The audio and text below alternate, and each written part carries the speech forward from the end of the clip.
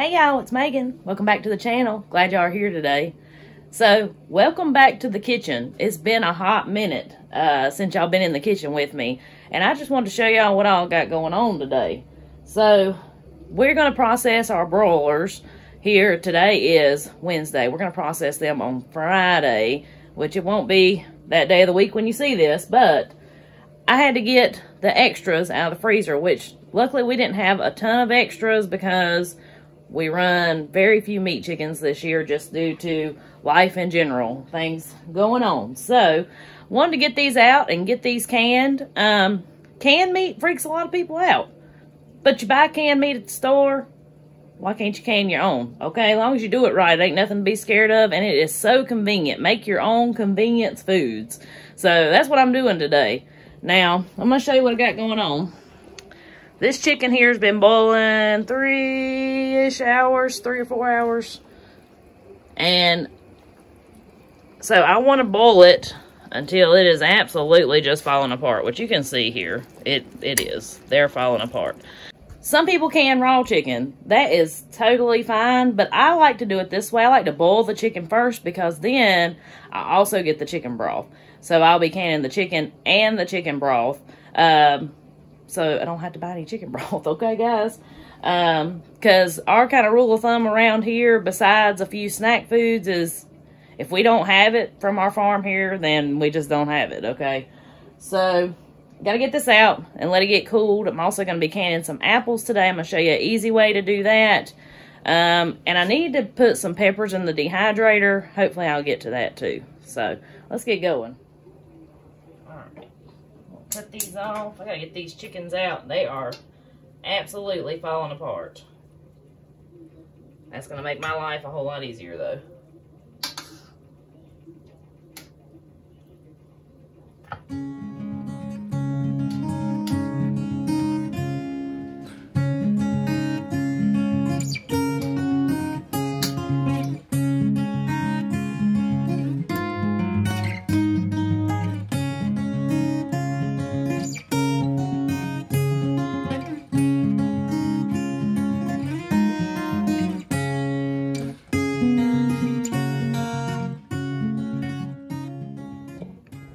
So you can see here, got a pile of chicken.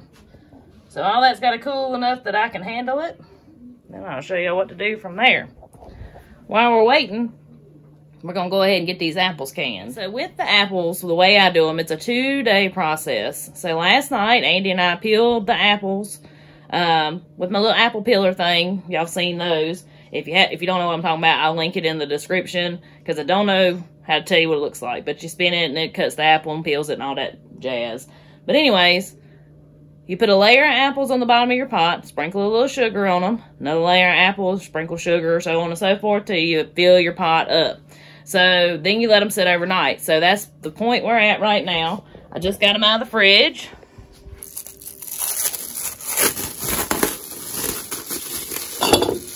That sugar helps them from turning brown. I didn't put any citric acid or anything like that on them. Um, which if you do, I mean, it ain't gonna hurt nothing. It keeps them from changing colors to bad. But we're gonna get these in the jar and get these canned.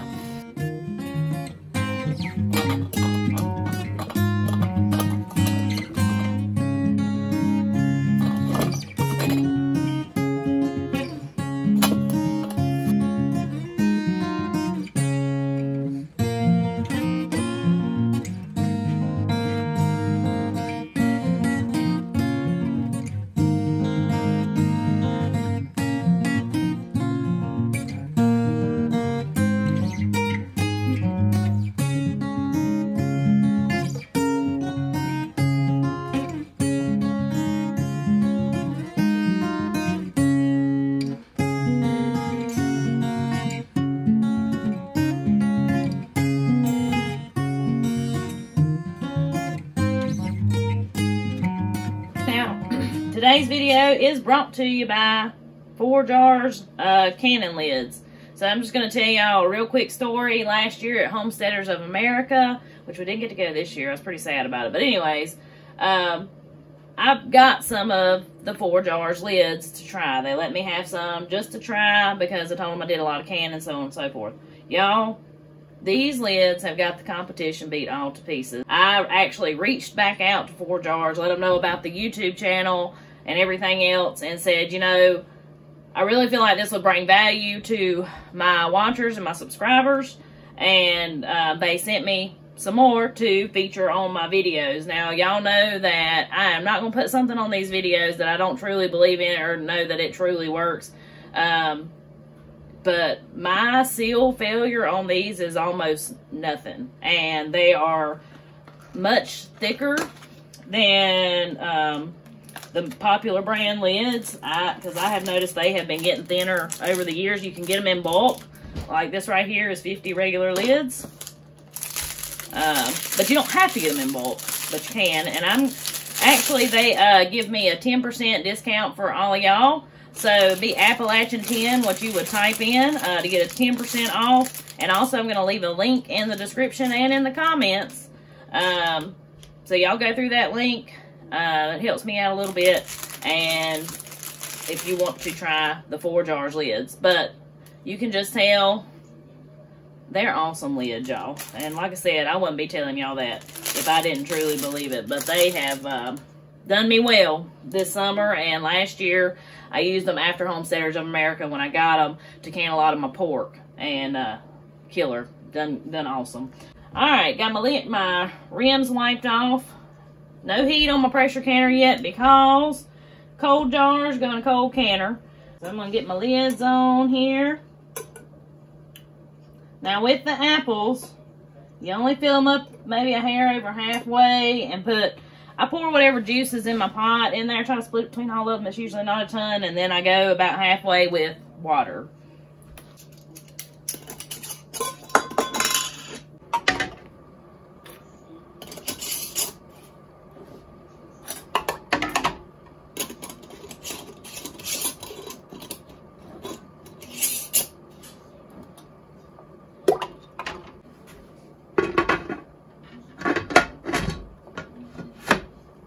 We're going to bring these apples up to right at five pounds of pressure. no time. We're going to cut it off, okay? Um, I had a very dear friend of mine tell me how to do this, and it has worked really well. Um, because with the water bath canner, for whatever reason, I have not had good luck with water bathing apples, and they actually keep. Don't know why. Probably something user error, but uh, this has worked well. While that's while the apples are going, I'm gonna go ahead and start pulling some of this chicken off the bone. Um, it's starting to cool a little bit. I'm gonna put it in my bowl here. Any bones or anything, I'm gonna put back in my chicken broth and let that continue to cook. The longer you let it cook, the better broth you get. So.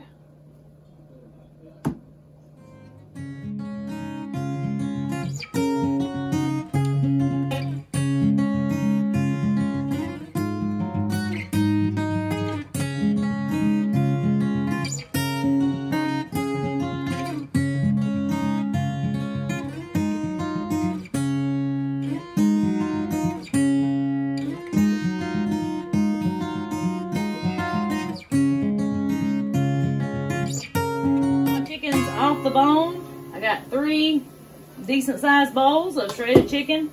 So I'm to go ahead and start filling up my jars. Waiting on this to come up to pressure with my apple so I can cut it off. Uh, which it sounds like it's working on it. So I'm to get these in the jar.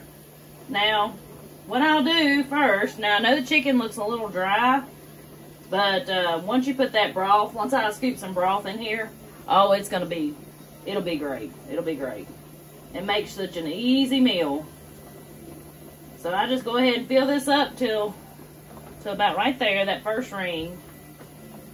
I'll get my chicken in first.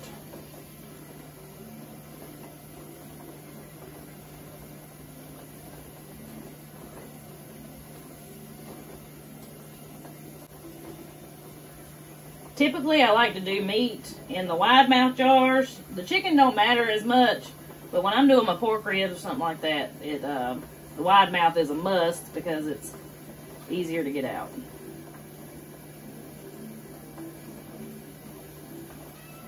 But a lot of work up front, you know, uh, be most of my day today working on this, but like I said in the beginning of the video, make your own convenience food because I will be thankful that I spent this day canning chicken come wintertime and I want a quick pot of soup or something like that. Chicken and dumplings. Um, make a, our old family recipe. Well, it's Andy's old family recipe. Uh, his great grandma's or his great great grandma's, I believe. If you hadn't seen that video, be sure to check that out. I believe I made that sometime last year. And I'll link that up in the top here too. But this will be perfect. Also, Maggie loves chicken, so sometimes on nights that I don't have something she likes, it's so easy just to go pop open a jar of chicken um, for her to eat some of it. I don't know how many jars we'll get here because it was seven chickens, but some were bigger, some were smaller, so. So now I've got my chicken all in the jars. Hello. and uh, me and Maggie are working on school right over here too. But I'm going to take my broth that I've had over here cooking and put it in and fill my chicken up till about the first ring there, or at least until the chicken is covered. Now, I've already put salt in the broth, um, so I'm not putting any salt in the chicken. So, I do this little filter here, just see there's a peppercorn and a few little pieces of chicken in there, just to catch, so I make sure I don't put any bones accidentally or anything like that. Alright, Maggie, what's one less of 15? Maggie. One less from 15 would be what? 14. 14, that's right. I know 16. Yep, one more would be 16. That's right. Now it's looking like I'm going to have about 10 quarts of chicken. So what I'll do um, is I'll run another pressure canner in a little bit. And I'll show y'all that. And I'll do my chicken and my broth at the same time.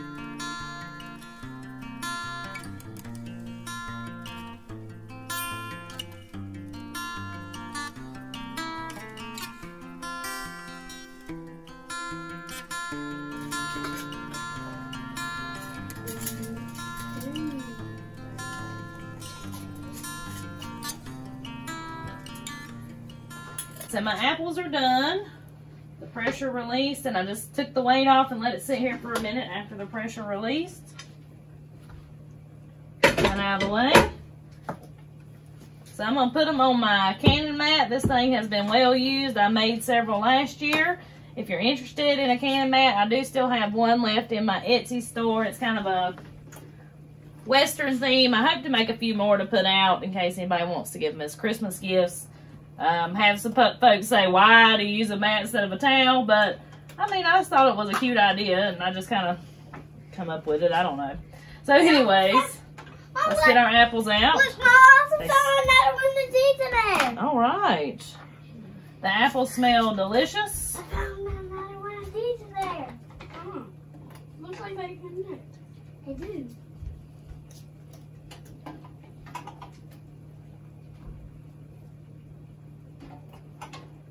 Apples do have quite a bit of air in them, so this rising to the top is to be expected. These will be great for uh, apple pies, baked apples, apple cobblers, things like that. It'll be uh, perfect. Again, another convenience. Keeps me from having to cook the apples. They're already cooked. So now, I'm going to go straight in the canner with my chicken. This was hot chicken broth that I put in the chickens, so I can go straight in the hot canner with these hot, because the jars are already hot. If they were cold, I would not do that.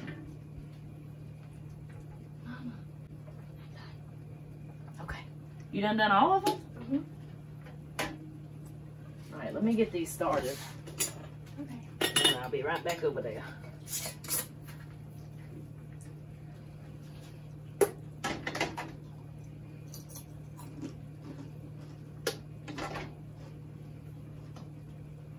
Can see how good that looks there.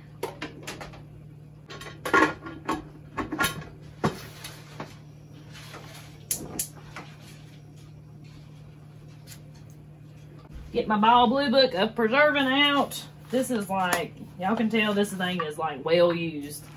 if you're looking to get into canning or you already know how to can and don't have this book, I would still absolutely recommend it. So we're gonna find chicken in here because I can't keep all this stuff in my brain. how to can all this uh, or the times and all that. So we're gonna can this chicken under 10 pounds of pressure. Um, for quarts, it's an hour and a half. Whether it's cooked chicken or raw chicken, you would do exactly that. So an hour and a half. So get that cranked up there. We'll let it vent for about 10 minutes and then I'll stick the weight on there. Show y'all up close of this right here. This is why I like boiling the chicken. Look at this beautiful chicken broth I've got here. And there's the chicken in the broth. This is my next set. I ended up having 10 quarts. Um, so this is fixing to go in the canner. I'm just going to can the broth with the chicken. Broth usually doesn't have to can for an hour and a half, but it ain't going to hurt nothing. All right, I got two canners that we're going. This just kind of makes the process a little quicker. I've moved my apples over here now that they've cooled. This is the broth and chicken both together, and this is just the first batch of chicken you saw me put in. So my little indicator is down. I'm going to take the weight off. And we're going to go ahead and see what this looks like, guys.